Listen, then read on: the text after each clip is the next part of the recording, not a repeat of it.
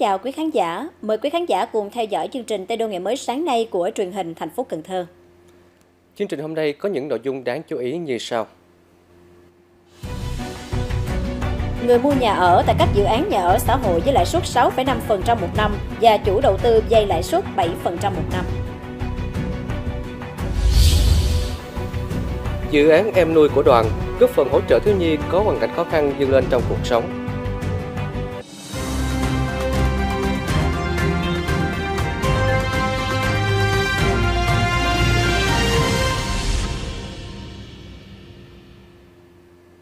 Thưa quý vị, trong chuyến công tác tại đồng bằng sông Cửu Long, hôm qua, Thủ tướng Chính phủ Phạm Minh Chính cùng đoàn công tác đến kiểm tra dự án cao tốc Châu Đốc Cần Thơ Sóc Trăng.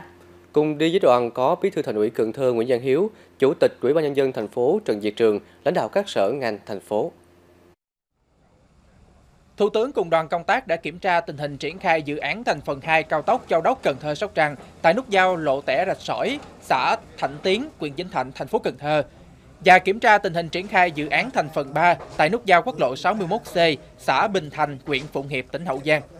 Đến thời điểm hiện tại, công tác thu hồi đất đã cơ bản hoàn thành đạt 99%, chỉ còn khoảng 1% tập trung tại 86 hộ dân và công trình hạ tầng kỹ thuật, đặc biệt là 15 vị trí đường điện cao thế. Về nguyên vật liệu, tổng nhu cầu cát đắp nền cho dự án khoảng 29 triệu mét khối. Với sự vào cuộc chỉ đạo quyết liệt của Thủ tướng Chính phủ, Phó Thủ tướng Trần Hồng Hà đến nay đã cơ bản giải quyết đủ nguồn cung vật liệu cát về trữ lượng. Tuy nhiên công suất khai thác còn thấp, chỉ đáp ứng khoảng 30% nhu cầu nên cần nâng công suất. Về công tác thi công giải ngân dự án khởi công 4 trên 14 gói thầu xây lắp đầu tiên từ tháng 6 năm 2023. Đến tháng 12 năm 2023, các địa phương đã khởi công toàn bộ 14 trên 14 gói thầu. Lũy kế sản lượng thi công toàn dự án đạt khoảng 9,3% giá trị hợp đồng. Trong đó An Giang đạt 20,5%, Hậu Giang đạt 11,9%, Cần Thơ đạt 5%, Sóc Trăng đạt 2,3%. Sau khi kiểm tra khảo sát thực địa, Thủ tướng Chính phủ chỉ đạo nhanh các bộ ngành địa phương, nhà thầu nhằm tháo gỡ khó khăn vướng mắt, thúc đẩy dự án và các dự án khác với quyết tâm trong nhiệm kỳ này hoàn thành khoảng 600 km cao tốc tại đồng bằng sông Cửu Long và nhiệm kỳ sau tiếp tục hoàn thành khoảng 600 km. Để cả dùng có khoảng 1.200 km cao tốc cùng với hệ thống giao thông thủy nội địa, các cảng lớn như Cái Cui Trần Đề, các sân bay, cơ bản giải quyết vấn đề giao thông cho đồng bằng sông Cửu Long. Chiều qua, Thủ tướng Chính phủ Phạm Minh Chính đã chủ trì cuộc họp với lãnh đạo các bộ ngành địa phương để tháo gỡ vướng mắt và thúc đẩy hạ tầng giao thông chiến lược khu vực đồng bằng sông Cửu Long. Mở đầu cuộc họp, Thủ tướng Phạm Minh Chính nhắc lại, ba năm trước, Thủ tướng đã có cuộc họp với lãnh đạo các địa phương dùng đồng bằng sông Cửu Long để thống nhất triển khai các tuyến cao tốc trong vùng. Theo quy hoạch, tới năm 2030, đồng bằng sông Cửu Long sẽ có khoảng 1.200 km cao tốc với ba tuyến theo trục Bắc Nam và ba tuyến theo trục Đông Tây, kết nối thành phố Hồ Chí Minh, miền Đông và miền Tây Nam Bộ. Khó khăn lớn nhất đối với các dự án cao tốc là nguồn vốn đã được khắc phục bằng cách quy động nguồn vốn trung ương, địa phương trong và ngoài nước. Cùng với đó, khó khăn về nguyên vật liệu cho các dự án cũng cơ bản được tháo gỡ. Nhưng mà cái chúng ta cái khó nhất là chúng ta vượt qua rồi. Nó vốn là một này, mặt bằng là hai này, nguyên vật liệu là ba này. Bây giờ chúng ta có thừa thắng sông lên không? Đó. Tinh thần 30 tháng 4 là thừa thắng sông lên thôi. Để chúng ta hoàn thành cái giai đoạn này vào năm 2025 với một cái khí thế mới, một cái động lực mới. Trong cái hội nghị này rồi ra cấp ủy chính quyền các cấp rồi vào doanh nghiệp vào nhân dân là chúng ta làm được. Và qua đây chúng ta thấy là không có cái gì là không thể. Quan trọng là chúng ta phải có quyết tâm chính trị cao nỗ lực lớn hành động quyết liệt. Và tập trung có trọng tâm trọng điểm làm việc nào có việc đấy.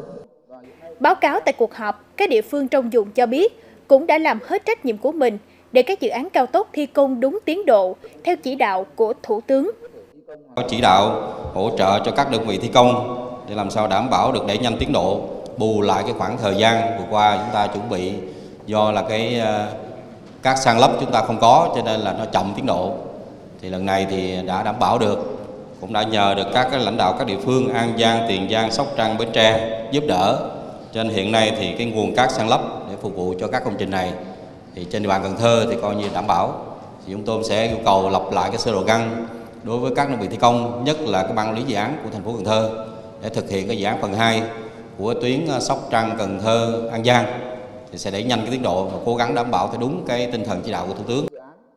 Thủ tướng cho rằng đồng bằng sông Cửu Long tuy còn khó khăn nhưng tương lai rất sáng, hoàn toàn có thể biến không thành có, biến khó thành dễ, biến không thể thành có thể. Cùng với việc xây dựng các tuyến cao tốc, Chính phủ cũng sẽ triển khai đồng bộ việc xây dựng cải tạo mở rộng, nâng cấp các cảng biển, sân bay để hoàn thiện hệ thống giao thông tương đối hoàn chỉnh tại đồng bằng sông Cửu Long, cũng như các giải pháp ứng phó biến đổi khí hậu, sụt lún, sạt lở, hạn mặn, đưa đồng bằng sông Cửu Long phát triển nhanh và bền vững, đóng góp vào sự phát triển chung của đất nước. Dự án khu công nghiệp v Cần Thơ đang gặp khó do thiếu nguồn cát san lấp mặt bằng, cũng là khó khăn chung của cả vùng. Tuy nhiên, lãnh đạo thành phố đặt mục tiêu sẽ bàn giao mặt bằng cho nhà đầu tư trong đầu năm sau. Dự án khu công nghiệp v Cần Thơ giai đoạn 1 có quy mô gần 300ha, Thành phố đã tích cực hỗ trợ công ty cổ phần v Cần Thơ thực hiện bồi thường giải phóng mặt bằng đạt khoảng 90%, đang đầu tư hai tuyến đường vào khu công nghiệp kết nối giao thông phụ cận. Dù đang gặp khó do thiếu nguồn cát san lấp mặt bằng, nhưng lãnh đạo thành phố đặt mục tiêu cùng VSIP đến quý 1 năm 2025 bàn giao đất sạch cho nhà đầu tư, đồng thời cam kết sẽ hỗ trợ tối đa cho khu công nghiệp này sớm đi vào hoạt động. Thành phố cũng dành quỹ đất khoảng 600 hecta cho dự án giai đoạn 2. Nhà nước sẽ không điều hành giá bán lẻ nhiên liệu trong nước, thay vào đó doanh nghiệp đầu mối phân phối tự tính quyết giá bán lẻ trên cơ sở các yếu tố do nhà nước công bố đây là nội dung có trong hồ sơ thẩm định dự thảo nghị định về kinh doanh xăng dầu lần 3 mà Bộ Công Thương vừa gửi Bộ Tư pháp. Theo đề xuất của Bộ Công Thương, cơ quan quản lý sẽ công bố giá thế giới bình quân 7 ngày một lần và một số chi phí cố định, tỷ giá ngoại tệ, thuế tiêu thụ đặc biệt VAT, thuế nhập khẩu. Dựa trên dữ liệu này, doanh nghiệp đầu mối sẽ cộng thêm các khoản chi phí kinh doanh lợi nhuận định mức để tính giá bán tối đa. Giá bán lẻ tới người tiêu dùng không được cao hơn mức tối đa này, Riêng tại vùng sâu, vùng xa và hải đảo được cộng thêm 2%. Điểm mới là họ sẽ phải kê khai giá, thông báo với cơ quan quản lý để giám sát.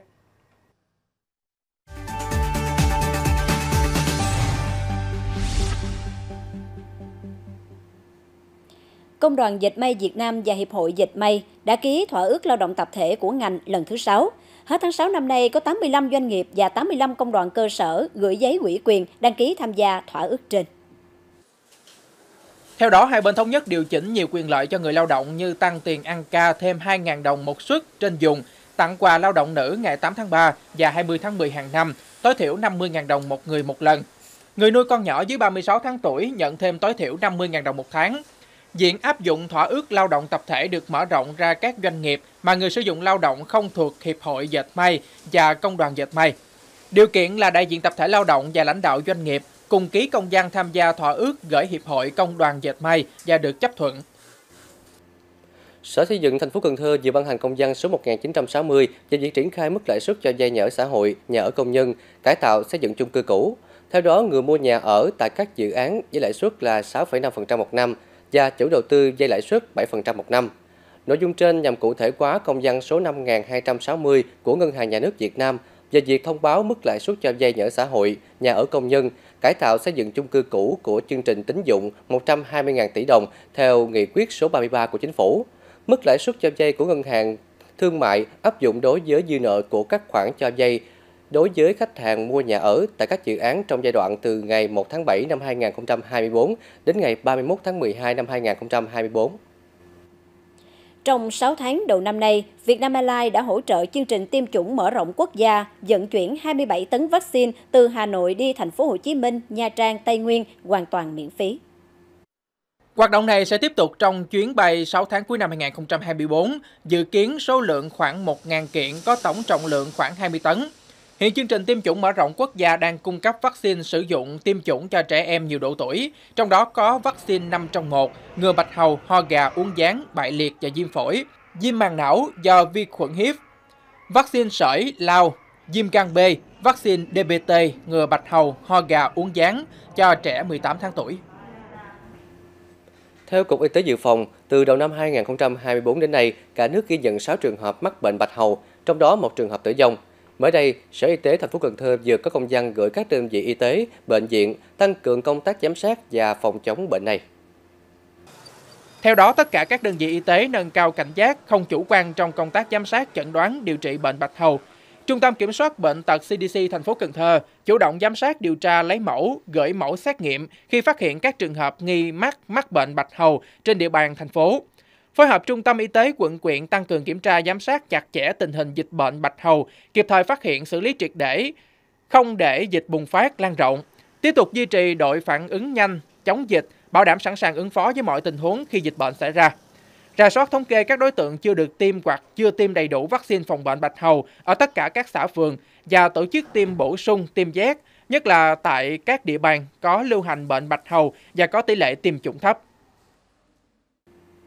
Bệnh viện Hoàng Mỹ Cửu Long vừa cứu sống một trường hợp nhiễm trùng huyết nguy kịch do kiến cắn.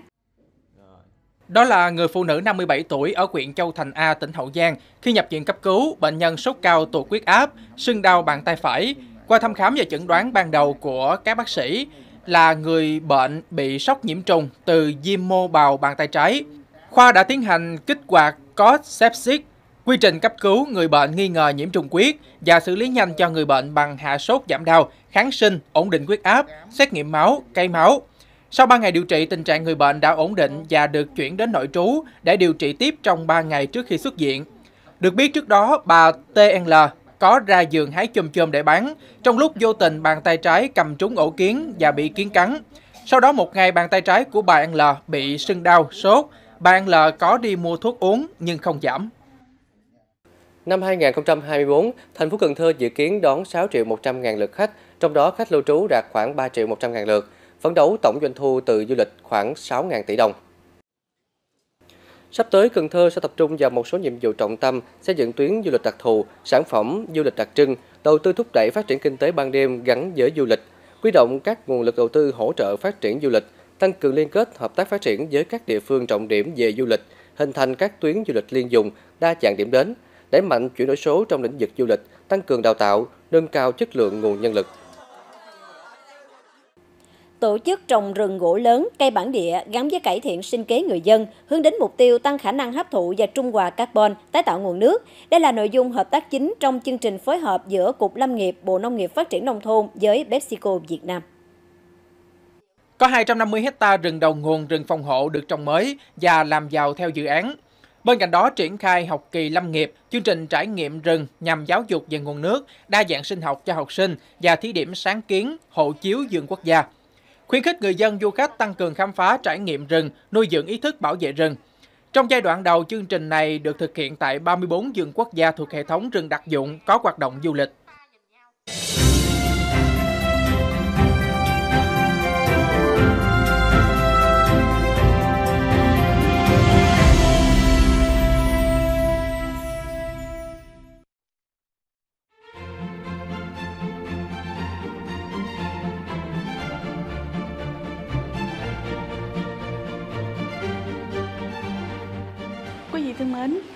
Là trà trái cây. Theo cảm nhận của Như Ngọc thì có mùi vị rất dịu nhẹ, thơm ngon. Nói đến trà trái cây thì không phải là mới, nhưng điểm mới ở đây là sự kết hợp giữa các cốt trà riêng biệt khác nhau, nước ép trái cây và trái cây tươi đã tạo nên hương vị đặc trưng mới lạ. Trong buổi trải nghiệm ngày hôm nay, xin mời quý vị sẽ cùng Như Ngọc tìm hiểu về thức uống thú vị này.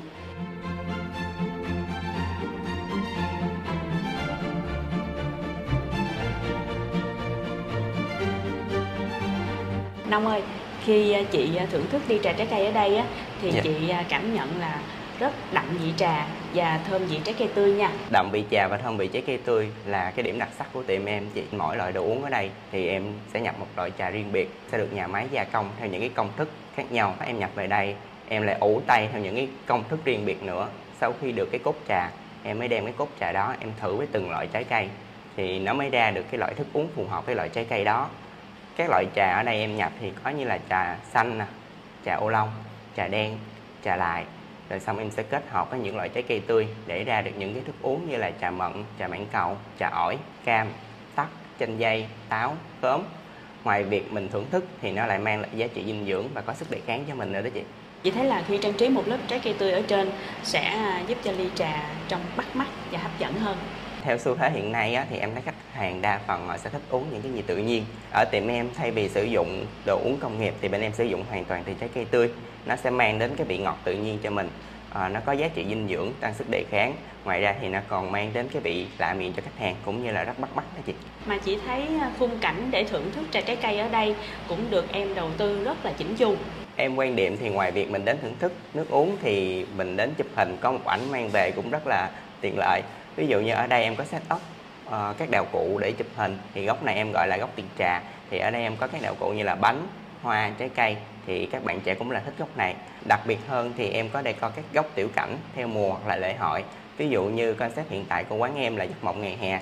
Khách hàng đến đây ngoài việc thưởng thức những ly trà trái cây thanh mát bổ dưỡng mà còn có thể lưu lại những bộ ảnh thật là lung linh. Mà những tiểu cảnh ở đây á, thì tụi em không có thu phí chỉ cần đến order nước là được. Vậy nước sẽ có giá cả như thế nào em ha? Dạ menu nước bên em thì có giá từ 39 đến 42 ngàn. Được thưởng thức những ly trà trái cây thơm ngon bổ dưỡng trong một khung cảnh nên thơ như thế này thì còn gì bằng phải không em? Và chị cũng ờ, xin chúc cho ý tưởng kinh doanh hiện đại này của em sẽ ngày càng thu hút nhiều khách hàng gần xa. Dạ em cảm ơn chị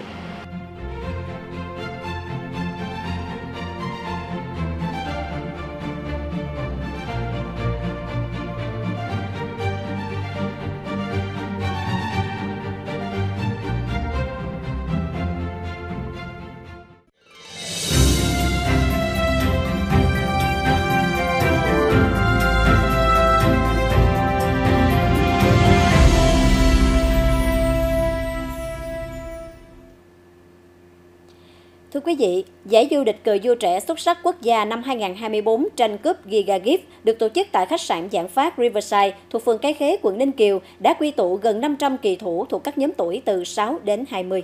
Theo điều lệ trong môn cờ vua, các kỳ thủ phải thi đấu có thể kéo dài 4 đến 5 tiếng đồng hồ một ván cờ. Trong thời gian này, phụ huynh không được phép vào phòng thi đấu, tất cả mọi sinh hoạt đều do tình nguyện viên đảm nhận. Đặc biệt là các kỳ thủ thiếu niên nhi đồng cần lắm sự chung góp sức của các tình nguyện viên.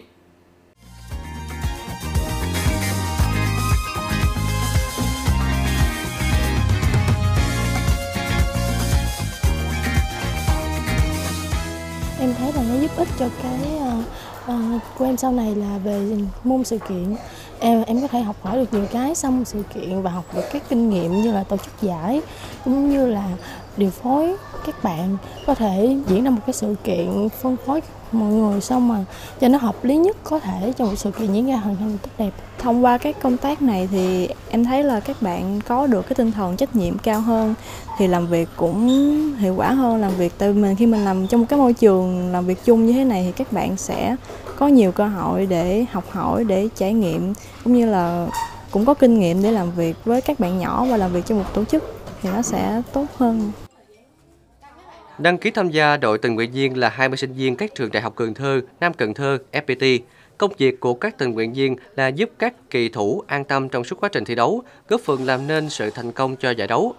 Các bạn phải có mặt từ sớm để sắp xếp bàn cờ thi đấu, đồng hồ điện tử, kiểm tra danh sách, cung cấp biên bản cho thi đấu, chuẩn bị nước uống, nhận các vật dụng cần thiết từ phụ huynh để trao lại cho các kỳ thủ khi có nhu cầu.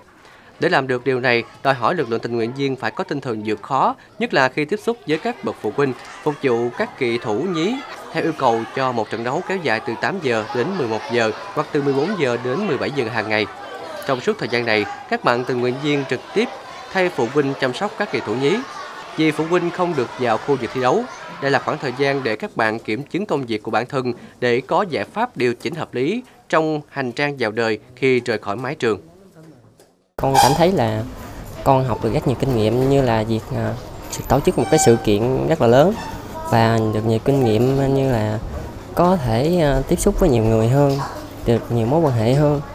Rồi với lại là cũng có trải nghiệm cuộc sống à, trước một số bạn như là hiện tại thì con để đi làm. Trong tương lai mà em có thể tiếp tục được với công việc này nó là quá tốt. Tại nó có thể học hỏi cho em về môn sự kiện cũng giống như là cho em nhiều kinh nghiệm tiếp xúc với phụ huynh cũng như các bé và các vận động viên và các giải lớn sau này. Thông qua các uh, sự kiện này thì em cũng biết được cách để tổ chức một cái sự kiện, một giải đấu lớn cũng như là cách để quản lý nhân sự thì mình rút ra được nhiều bài học cho bản thân mình hơn. Những kết quả của lực lượng tình nguyện viên tại giải vô địch cờ vua trẻ xuất sắc quốc gia năm 2024 tranh cúp Giga Gift là một trải nghiệm thiết thực để lực lượng sinh viên đúc kết kinh nghiệm, những bài học thiết thực cho bản thân trên bước đường hội nhập và cộng đồng cho tương lai. Đối với việc chăm lo hỗ trợ cho các em thiếu nhi có hoàn cảnh khó khăn, có ý chí vươn lên trong cuộc sống, luôn là nhiệm vụ quan trọng đối với Ban Thường vụ Đoàn phường Cái Khế, quận Ninh Kiều, thành phố Cần Thơ. Từ ý nghĩa đó, dự án Em nuôi của đoàn đã được triển khai thực hiện và đi vào hoạt động hơn 6 tháng nay. Dự án kêu gọi các mạnh thường quân là đoàn viên thanh niên và cộng đồng hỗ trợ chăm lo, đỡ đầu các em thiếu nhi có hoàn cảnh khó khăn đến khi các em tròn 18 tuổi với số tiền 300.000 đồng một tháng. Em Trương Thanh Quý năm nay 12 tuổi, ngụ phường Cái Khế, quận Ninh Kiều. Ba Quý mất sớm, mẹ bỏ đi làm ăn xa, hiện em sống với bà nội vốn sống trong hoàn cảnh khó khăn, sớm phải vừa học vừa làm. Nhưng hơn 6 tháng nay, em có thêm niềm vui khi được một người chị đỡ đầu để hỗ trợ em trong cuộc sống. Hàng ngày con đi bán si gum với lại với số tiếp bà nội của con.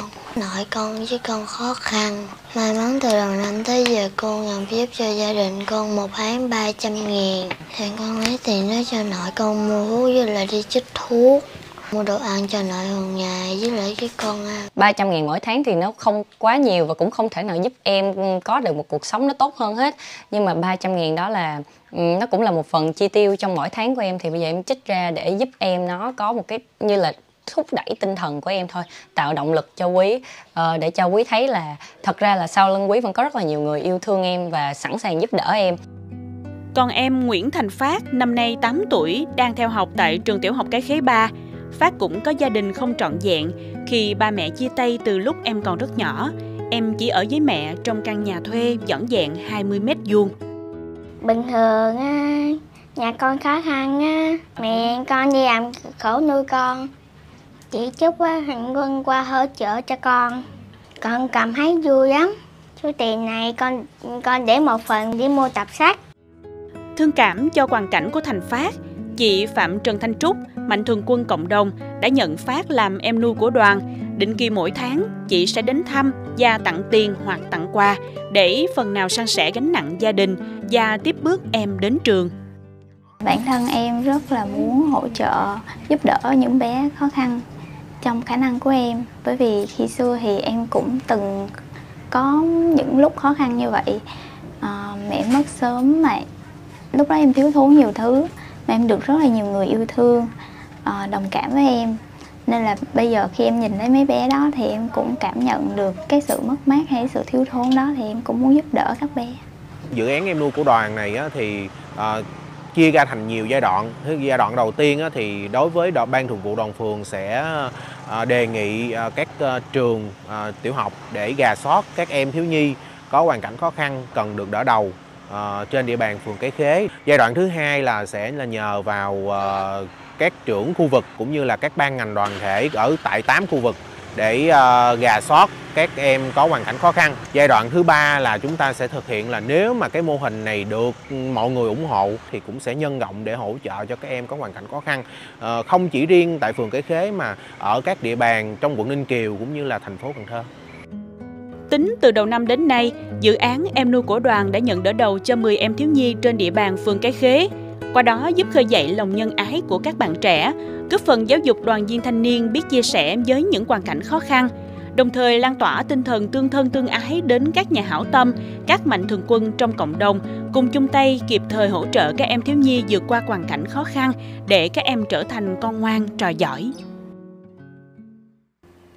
Phóng sự vừa rồi cũng đã khép lại chương trình Tây Đô ngày mới sáng nay của truyền hình thành phố Cần Thơ. Cảm ơn sự quan tâm theo dõi của quý vị và các bạn. Xin kính chào tạm biệt và hẹn gặp lại.